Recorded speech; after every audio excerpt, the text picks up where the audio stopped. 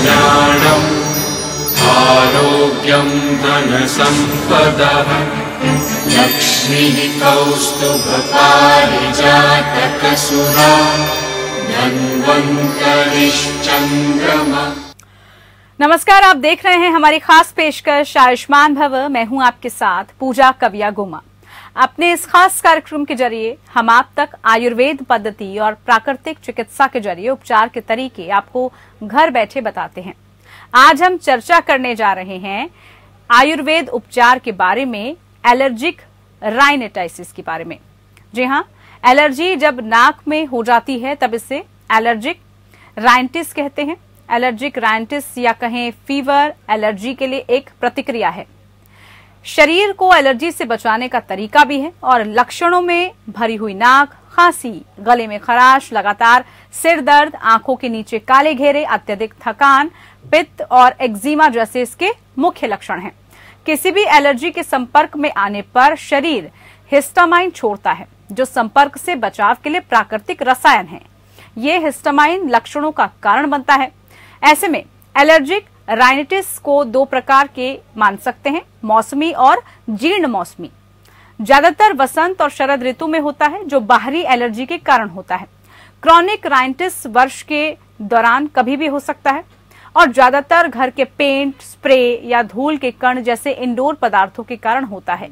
तापमान में उतार चढ़ाव, अचानक ठंड, आर्द्रता, सिगरेट के धुएँ के संपर्क में आना, हेयर स्प्रे इत्र, कोलोन, लकड़ी, कोयले के धुएँ या धुएँ के कारण कोई भी अन्य कारक एलर्जी राइनिटिस को बढ़ा सकते हैं। ये तो थी एलर्जी राइनिटिस से जुड़ी बुनियादी जानकारी। ज़्यादा जानकारी देने के लिए आज हमारे साथ जुड़ी हैं आयुर्वेदिक चिकित्सक डॉक्टर शिखा प्रकाश। अगर आप एलर्जिक राइनिटिस से संबंधित कोई भी सवाल करना चाहते हैं तो आप हमारे साथ कार्यक्रम में हिस्सा ले सकते हैं। फ़ोन लाइन्स खुल चुकी हैं। हमारा फ़ोन नंबर आपकी टेलीविज़न स्क्रीन पर है। करोतु कल्याणम् आरोग्यम् धनसम्पदः। लक्ष्मीः कौस्तुभपारिजातकसुरा धन्वन्तरिश्चन्द्रमा चलिए तो बहुत स्वागत है आपका, डॉक्टर, हमारे इस खास कार्यक्रम में। और टॉपिक हमने आपको बताया कि कैसे जो है आज हम एलर्जी उससे जुड़े लक्षण और उससे जुड़े जो उपाय हैं, कैसे हम आयुर्वेद के माध्यम से उसका उपचार कर सकते हैं, इसके बारे में जानकारी प्राप्त करेंगे। अगर आप भी इस दौरान जुड़ सकते हैं, कार्यक्रम में कोई सवाल है तो ज़रूर आप पूछ सकते हैं। अब सवालों का सिलसिला शुरू करते हैं। सबसे पहले जानते हैं कि आखिरकार लक्षणों की बात जब हम डॉक्टर साहब करते हैं तो जो एलर्जी है वो कई तरह की होती है और एलर्जी के जो कारण होते हैं, वो जैसे हमने अभी बताया अभी कि बहुत अलग अलग तरह के होते हैं। तो सबसे पहले आपसे यही समझना चाहेंगे कि ये है किस तरह की बीमारी? नमस्कार मैं एपीएन का शुक्रिया करती हूँ आज के एपिसोड के लिए। एलर्जिक राइनाइटिस राइनाइटिस मतलब हमारी जो नाक के अंदर की जो म्यूकोसल लाइनिंग है उसमें सूजन का आ जाना। एंड आज क्योंकि वसंत पंचमी का दिन है हम बोलते हैं आज से हमारा वसंत का मौसम शुरू होता है या स्प्रिंग का ऑनसेट होता है। तो जब भी ऋतु संधि होती है दो uh, मौसम का मेल होता है तो एलर्जी जैसे बहुत ज़्यादा आते हैं। तो एलर्जिक राइनाइटिस एक ऐसी बीमारी है जैसे कि आपने बताया कुछ होती है कि मौसम के अनुसार जब मौसम बदलता है तब होती है। या फिर सालाना भी रहती है। हम्म। तो जनरली जो सिम्टम्स देखने इसमें छींकों का आना आँखों में नालीपन हो जाना गले में खराश का रहना और आँखों में लालीपन अ, तालू में खुजली होना छींके आना नाक का कंजेशन होना। सारे इसके सिम्टम्स हैं। और ये एक बहुत ही कॉमन बीमारी है। और आज के समय में अगर हम देखें तो लगभग हमारे देश में 10 मिलियन लोगों को एलर्जिक राइनाइटिस मतलब अपने शिकार में लेकर आती है। बिल्कुल, और जैसे आपने बताया है कि राइनेटिस एक बहुत कॉमन बीमारी है और लगभग जैसे जो आप इसका प्रतिशत बता रही हैं, वो यकीनन और भी ज़्यादा गंभीर नज़र आ रहा है। लेकिन क्या इस बीमारी को या ये जिस तरह का पूरा संक्रमण है, इसको हम किसी भी तरह से गंभीर श्रेणी में मान सकते हैं कि बहुत गंभीर भी ये आगे चलकर बन सकती है किसी के लिए? देखिए, कोई भी बीमारी अगर हम उसकी चिकित्सा समय पे नहीं करते हैं तो ये किसी भी क्रॉनिक रूप में मतलब कन्वर्ट हो जाती है। जैसे कि कई बार राइनाइटिस के केसेस में ये परसिस्टेंट रहने से एक तो आपकी प्रोडक्टिविटी पे बहुत ज़्यादा असर करती है कि आप कुछ काम नहीं कर पाते हैं फोकस नहीं कर पाते हैं जैसे ऑफ़िस में जो लोग जाते हैं वो लोग को हेडेक्स रहने लग जाते हैं या कई बार ईयर इन्फेक्शन तक होने की नौबत आती है। एंड ये बहुत एक इरिटेटिंग बीमारी है हम्म। कई बार इसके कारण आपको साइनसाइटिस जैसी बीमारी भी हो जाती है तो एक हर वक्त आपका जो पूरा ये अपर ट्रैक्ट है आपको जकड़ा फील होता है हम्म, हम्म। ठीक है। इसके अगर हम लक्षणों की बात करें, अब तो राइनेटाइसिस के लक्षण क्या कुछ होते हैं? किस तरह से हम इसको पहचान सकते हैं? मतलब अगर हम बात करें शुरुआती लक्षणों की तो कैसे हमें आभास हो कि हाँ अब हम इस बीमारी से ग्रसित हो रहे हैं और अब हमें इसका उपचार शुरू करना है? सबसे कॉमन जो लक्षण है एलर्जिक राइनाइटिस का है कंटिन्यूसली छींकों का आना। कई बार हम होते हैं कि सुबह उठे और छीके पे छींके हमें आए जा रही है, या हल्का सा भी मौसम में फेरबदल होता है, या फिर कोई एलर्जन होता है, जैसे कि कोई डस्ट हुई या कोई एनिमल अगर आपने घर में पाला कोई पेट है या फिर पोलिन है आप बगीचे में गए कुछ भी है तो आपको खराश होने लग जाती है बुखार होने लग जाता है या फिर खांसी होने लगती है तो ये सारे सिम्टम्स एलर्जिक राइनाइटिस के हैं। कई बार एक ये कॉमन फ्लू भी हो सकता है लेकिन अगर आप ये नोटिस करें कि मौसम बदलते हर वक्त आपको ये सिम्टम्स होने लग गए हैं या बार बार आपको ऐसे सिम्टम्स आते हैं तो ये एलर्जिक राइनाइटिस को डायग्नोज करने में हेल्प करते हैं। तो ये तो सिम्टम्स की बात रही कि ये जो सिम्टम्स हैं, ये हमें पहचानने होंगे। और जैसे आपने कहा कि दो तरह के जो होते हैं मौसमी और जीर्ण मौसमी जो है राइटिस हो सकता है। और अगर हम इसके सीज़न की बात करें तो जैसे अभी आपने भी कहा कि इस मौसम में, जैसे वसंत हो गया, शरद ऋतु हो गया, इसमें ये ज़्यादा होता है। बाहरी एलर्जी के कारण होता है ये क्या? जी, ये भारी एलर्जी के कारण भी होता है। और आयुर्वेद के अनुसार जब हमारे जो दोष है वात पित्त कफ जैसे आपका वसंत ऋतु में कफ का संचय होता है, प्रकोप होता है तो इस मौसम में भी एलर्जी कंडीशन बनती है। सिमिलरली शरद ऋतु में भी जब पित्त का प्रकोप का काल होता है, उस वक्त भी हम देखते हैं कि बीमारियाँ बढ़ती हैं और एलर्जी जैसी कंडीशन बहुत ज़्यादा हमें देखने को मिलती है। अब अगर हम इसके बचने के उपायों की बात करें डॉक्टर तो घरेलू उपाय पर अगर हम एक नज़र डालें तो घरेलू उपाय इसमें क्या हो सकते हैं और क्या वो डॉक्टर शिखा कारगर भी होंगे अगर हम घरेलू उपायों की बात करें तो? देखिए सबसे पहला किसी भी एलर्जी का जो उपाय है वो है एलर्जन से बचना। पहले हमें आइडेंटिफाई करना होता है कि हमें किस चीज़ से एलर्जी है। किसी को यदि डस्ट से एलर्जी है हालाँकि अभी कोविड के कारण हम सभी लोग मास्क पहन के रखते हैं लेकिन जिस भी चीज़ से आपको एलर्जी होती है उससे आप ज़रूर बचें ये पहला उपाय है। दूसरा आपको जब भी एलर्जी जैसे सिम्टम्स है आप गरारे ज़रूर करें ताकि कुछ भी अगर एलर्जन है आपके थ्रोट में है तो वो आप उसको बाहर एक्सपेल कर दें। उसके अलावा गर्म पानी पीते रहें, मौसम के अनुसार खाना पीना खाएँ, जिससे आपका इम्यून सिस्टम ओवरऑल मज़बूत रहेगा। एलर्जी की जो कंडीशन है, ऐसा नहीं है कि किसी व्यक्ति को दिक्कत होती है, लेकिन अगर आपका इम्यून सिस्टम वीक होगा तो हर एक एलर्जिक या एलर्जन से आपको दिक्कत होती है, जिसके कारण ये सब आपको लक्षण देखने को मिलते हैं। तो जो भी हमें उपाय करने हैं, जो भी हमें नुस्खा या फिर कुछ भी घरेलू चीज़ों को फॉलो करना है, वो इम्यून सिस्टम को मज़बूत करने को, के लिए करना चाहिए। और अगर हम आयुर्वेद के ज़रिए इसके इलाज की बात करें तो क्या जो राइटिस है इसकी आयुर्वेद में कोई उपचार है? और कैसे इसका उपचार मुमकिन है? और अगर ये क्रॉनिक स्टेज पर पहुँच जाता है तो इस दौरान कैसे जो है इसका इलाज हो पाता है? देखिए एलर्जिक राइनाइटिस का आयुर्वेद में बहुत अच्छा इलाज है और मेरी एक स्पेशलिटी भी है इस बीमारी का इलाज करना। अ, इस बीमारी में मैं एक दवाई देती हूँ इम्बो नामक जो कि बहुत ही सिग्निफिकेंटली से काम करती है।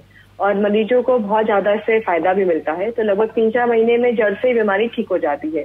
लेकिन कोई भी इलाज केवल दवा से ठीक नहीं होता उसमें आपका निदान परिवर्जन यानी कि जो भी कारण से आपको बीमारी उससे बचना साथ में आहार मतलब अच्छा पोषण युक्त खाना खाना न्यूट्रिशन का ध्यान देना और साथ में एक अच्छी लाइफस्टाइल इन तीनों के मिश्रण से ही इलाज संभव होता है।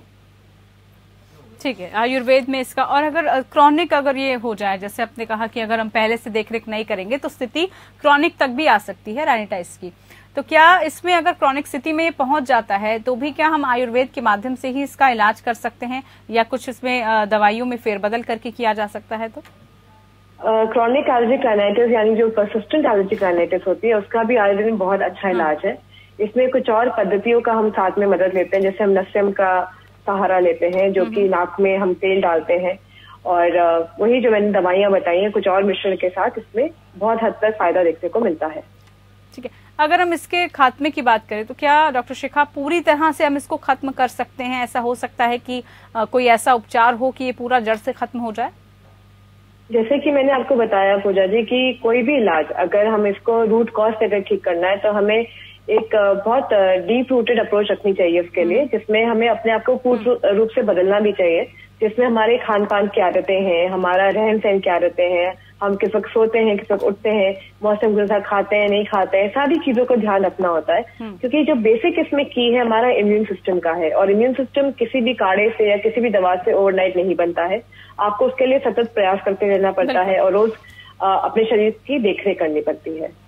तो बिल्कुल, ये तो राइनाइटिस की जो है बेसिक जानकारी है, जो हम अपने दर्शकों तक पहुँचा रहे हैं। डॉक्टर शिखा हमारे साथ लगातार जुड़ी हुई हैं। आज हम बात कर रहे हैं राइनाइटिस की और इससे जुड़े लक्षण और उससे जुड़े जो उपाय हैं और साथ ही साथ कैसे जो हमें इस बीमारी से निजात पानी, कैसे हम इससे बच सकते हैं, कुछ घरेलू उपाय और साथ ही आयुर्वेद के माध्यम से कैसा इसका जो इलाज है वो मुमकिन है।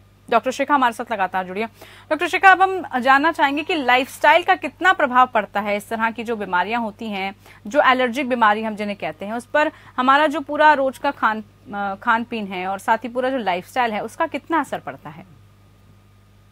कई अगर हम शोध के जो पेपर्स होते हैं, उनका पढ़ते हैं तो देखा जाता है जितना ज़्यादा अर्बनाइजेशन हो रहा है या शहरीकरण हो रहा है, उसके साथ साथ एलर्जी की कंडीशन भी बढ़ती चली जा रही है। क्योंकि इसके कई कारण है। एक तो हम लोग का खान पान का बहुत खराब होना हमारे जीवन शैली का बहुत बिगड़ जाना साथ में कई तथ्य हैं जैसे कि हम लोग का सुबह समय पे नहीं उठे तो विटामिन डी की कमी का होना या फिर मौसम के इंसान जब खाना पीना नहीं खाते तो कई तरीके की मिनरल डेफिशिएंसीज होती है विटामिन की डेफिशिएंसी होती है तो शरीर अंदरूनी रूप से काफ़ी कमज़ोर हो जाता है। तो जिसके कारण हमारा जो शरीर है मतलब भले ही हम लोग बहुत ख्याल करते हैं एक्सरसाइज भी करते हैं जिम भी जाते हैं सब तरीके का ध्यान रखते हैं लेकिन जो सेलुलर लेवल पे शरीर काफ़ी वीक रहता है जिसके कारण हमारा इम्यून सिस्टम टोटली डेवलप नहीं होता है आज के समय में और इस तरह की बीमारियाँ बढ़ती ही चली जा रही हैं। जैसे कि मैंने बताया एलर्जिक राइनाइटिस जैसी जो कंडीशन हैं ज़्यादातर हमें बड़े शहरों में मिलती हैं या फिर जहाँ पे शहरीकरण ज़्यादा है या जॉब्स में है कॉर्पोरेट्स में उनमें मेरे को ज़्यादा दिखती है। बहुत ही कम ऐसे मैं मरीजों की मैं बात करूँगी कि जो बहुत छोटे गाँव से आ रहे हैं और छोटे शहरों से आ रहे हो जैसे जहाँ पे ये बीमारियाँ होती हैं। तो इसका एक सीधा तालमेल मैं देखती हूँ कि आज की शहरीकरण या हमारा जो अ, बढ़ता हुआ लाइफस्टाइल है वेस्टर्न लाइफस्टाइल है उसके साथ इसको जोड़ा जा सकता है। अगर हम एज ग्रुप की डॉक्टर शिखा बात करें तो जो एलर्जी है राइनाइटिस इसकी क्या पर्टिकुलर एज ग्रुप में होता है? क्या ये बच्चों को भी हो सकता है या फिर किस जो है एज ग्रुप को सबसे ज़्यादा इससे संक्रमित होने का डर बना रहता है? राइनाइटिस हर एक एज ग्रुप में पाई जाने वाली बीमारी है लेकिन अमूमन जो मेरे पास मरीज़ आते हैं लगभग वो 10 साल से लेके 40 साल की उम्र के बीच में ज़्यादा आते हैं। और बच्चों में कई बार जो चाइल्डहुड एस्थमा होता है और वो तो खुद सेल्फ लिमिटिंग होता है तेरह चौदह साल तक ठीक हो जाता है लेकिन जो कई केसेस में जो ठीक नहीं होता है राइनाइटिस और एस्थमा मिलके वो प्रोलॉन्ग एस्थमा जैसी कंडीशन आजीवन बनाता है। और कई बार जब अडल्ट में राइनाइटिस रहती है बहुत लंबे समय तक वो भी आगे जाके एस्थमा में कन्वर्ट हो जाती है। तो राइनाइटिस को समय में ठीक करना बहुत ज़रूरी है क्योंकि इसके लिए जो अब हम एलोपैथिक दवाइयों की बात करते हैं तो ज़्यादातर दवाइयाँ सिम्टम्स पे काम करती हैं। जैसे कि एलर्जी के लिए एंटी एलर्जी खा ली हमने या फिर कभी उसके कारण सिर दर्द हुआ तो कोई पेन किलर ले ली या कोई एंटीबायोटिक्स ले ली। लेकिन रूट कॉज हम इसको ठीक नहीं करते हैं। बिल्कुल। तो एलर्जी राइनाइटिस का जो रूट कॉज है उस पर काम करना बहुत ज़्यादा ज़रूरी है। अब राइनाइटिस में क्या जैसे आपने बताया कि एज ग्रुप की भी बात हमने कर ली है और उसको जड़ से खत्म करना ज़रूरी है। इसमें और जैसे साइनस की कई लोगों को बीमारी हो जाती है क्या इन दोनों में भी कुछ समानताएँ हैं? आगे चलकर क्या ये साइनस भी बन जाता है? कई बार जो कुछ केसेस कॉम्प्लिकेटेड होते हैं या काफ़ी क्रॉनिक हो जाते हैं तो कई बार राइनाइटिस के केस में साइनसाइटिस भी साथ में देखने को मिलती है। तो जब भी हम किसी आइटिस वर्ड की बात करते हैं साइनसाइटिस हुआ कंजेक्टिवाइटिस हुआ राइनाइटिस हुआ आइटिस का मतलब है शोथ, यानी कि इन्फ्लेमेशन तो जब सूजन आती है तो वहाँ पे इस तरह के सिम्टम्स देखने को मिलते हैं। तो दोनों में डॉक्टर शिखा समानताएँ भी बताइएगा कि मतलब ताकि लोगों को ये पता चल पाए कि उनको राइनाइटिस है या वो साइनस से ग्रसित है इन दोनों में क्या जो है अंतर रहता है? देखिए राइनाइटिस का जो मेजर जो एक लक्षण है कि जैसे कि नेजल कंजेशन हुआ छींकों का बहुत ज़्यादा आना या मौसम बदलने के साथ साथ आँखों से पानी आ रहा है गले में खराश वगैरह होती है। तो इसमें आपको नेजल सिम्टम्स भी होते हैं आपके गले में भी कुछ कुछ खराश वगैरह होती है लेकिन साइनस में डिपेंड करता है कि आपका साइनस कहाँ पे इम्पैक्ट है मैक्सिलरी साइनस है आपका। तो उसके हिसाब से आपको पेन की साइज़ मिलेगी। कई बार जो साइनसाइटिस का पेशेंट रहता है उसको नाक के चारों तरफ़ दर्द होता है या हेडेक रहता है। या जब सुबह उठता है तो अर्ली मॉर्निंग हेडेक्स रहते हैं। हालाँकि राइनाइटिस के केसेस में सुबह जब उठता है तो कई बार छीकों के साथ उठता है। तो क्लिनिकल सिम्टम्स इनमें काफ़ी डिफरेंट होते हैं। और साइनसाइटिस का भी जो कंफर्म हमें जब टेस्टिंग करानी होती है तो उसमें एक्सरे के थ्रू से कंफर्म करते हैं कि इसमें आपको साइनसाइटिस है। क्या इस तरह के पेशेंट्स में इनहेलिंग को लेकर भी कोई दिक्कत आ सकती है? क्योंकि जैसे जब हम बात करते हैं नाक की तो उसका जो मूल काम है वो यही है कि सांस को अंदर और बाहर छोड़ना। तो क्या कोई सांस संबंधी बीमारी भी हो सकती है या फिर सांस लेने में तकलीफ़ तक होने लग जाती है इसमें? जैसा कि मैंने आपको बताया जब राइनाइटिस बहुत लंबे समय तक हम लोग उसको लिंगर ऑन करते रहते हैं उसका समय से इलाज नहीं कराते तो अस्थमा जैसी कंडीशन बनती है। क्योंकि जब कंजेशन रहता है नाक में तो मरीज़ कई बार मुँह से सांस लेता है हम्म। जिस कारण वो प्रॉपरली इनहेल नहीं कर पाता। तो आपके लंग्स में प्रॉपर ऑक्सीजन सप्लाई नहीं होती तो बॉडी पे हमेशा फटीक रहता है। तो राइनाइटिस का मरीज़ अक्सर चढ़ा चढ़ा रहता है थकावा रहता है और उसको मतलब एक फटीक जैसी सिचुएशन बनी रहती है बॉडी में। डॉक्टर शिखा ये तो हमने बात की कि क्या इसके जो है सिम्टम्स हैं और कॉजेस क्या हैं, कैसे जो है, अब बात करना चाहेंगे कि बचाव कैसे किया जाए, कैसे हम बच सकते हैं, क्या कुछ छोटी छोटी टिप्स हम जो है अपनी लाइफस्टाइल में अपना सकते हैं जिससे हम अपना बचाव कर सकें और जिससे जो इस तरह की एलर्जी है, हमको ना हो, क्या हमें अपने जीवन में अमल में लानी चाहिए चीज़ें? देखिए पहला बचाव जैसे कि हम पहले भी चर्चा कर चुके हैं पहला बचाव है कि अपने आलोचन को पहचाने कि आपको किस चीज़ से दिक्कत है हम्म। कई बार किसी अगरबत्ती से धूपबत्ती से किसी एलर्जन से आपको दिक्कत हो सकती है। कुछ कुछ लोग को सरसों के तेल से भी होती है कि जब घर में तड़का लग रहा होता है तो हो सकता है किस भी चीज़ से आपको एलर्जी है, तो उससे बच्चे उसको आइडेंटिफाई करें। हम्म। दूसरा जो इसका सुझाव मैं दूँगी कि आप अपनी नींद का विशेष ध्यान रखें पूरी नींद ज़रूर लें क्योंकि जब हम नींद पूरी नहीं लेते तो हमारा इम्यून सिस्टम हमेशा वीक रहता है। हम्म। तो इम्यून सिस्टम को अगर मज़बूत करना है तो नींद पे बहुत ध्यान दें। और अपना हाइड्रेशन लेवल यानी पानी खूब पिए दिन में सात से आठ गिलास पानी ज़रूर पिए। मौसम के अनुसार फल ज़रूर खाएँ। विटामिन सी का इंटेक नेचुरल विटामिन सी जैसे कि खट्टे फल ये मौसम ऐसा है कि इसमें बहुत सारे फल आते हैं। तो फल खूब खाएँ भरपूर खाएँ और प्रोटीन रिच खाना ज़रूर खाएँ। और मौसम के अनुसार अपना खाना बदल बदल के खाएँ। जैसे इस मौसम में साग सब्ज़ी खूब होती है। हम्म। इन चीज़ों पर ध्यान देना बहुत ज़रूरी है। और एक और चीज़ का मैं सजेस्ट करना चाहूँगी कि जब भी छोटी मोटी एलर्जी होती है तो इमिडिएटली सेल्फ ट्रीटमेंट ना करें। और चिकित्सक को दिखाकर ही दवाई लें क्योंकि कई बार बॉडी भी इन दवाइयों की आदी हो जाती है तो हमेशा किसी चिकित्सक की परामर्श से ही दवा लें। डॉक्टर शिक्का राइनाइटिस में क्या, जैसे आपने बताया कि ये हमें जो है सावधानियाँ बरतनी चाहिए, लेकिन क्या कुछ ऐसी मेडिसिन भी हैं जो हम डेली जिनका सेवन कर सकते हैं? क्या कुछ ऐसी दवाइयाँ भी हैं जिसको खाकर कम से कम जो है हम ये तरह की बीमारियों से बच सके। जैसे हमने कोरोना के टाइम में देखा लोगों को बहुत ज़्यादा जो है एलर्जीज हुई काफ़ी सारी चीज़ों से और सांस की तकलीफें भी लोगों को होने लगी। तो लोगों ने विटामिन सी की या जिंक की टैबलेट जो है वो खाना शुरू कर दिया। तो इसमें भी क्या कुछ ऐसी दवाइयाँ हैं, कुछ बेसिक जिनका ग्रहण किया जा सकता है?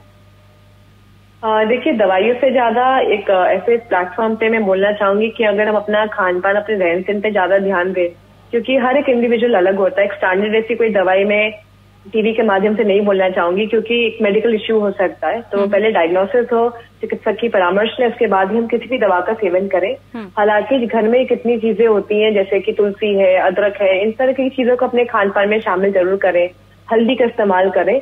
तो इन सब चीज़ों का ध्यान देना बहुत ज़रूरी होता है।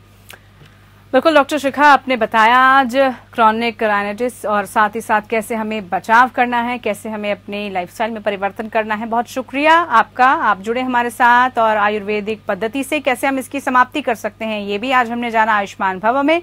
फ़िलहाल के लिए इतना ही, नमस्कार। करोतु कल्याणम् आरोग्यं धनसम्पदः। लक्ष्मीः कौस्तुभपारिजातकसुरा धन्वन्तरिश्चन्द्रमा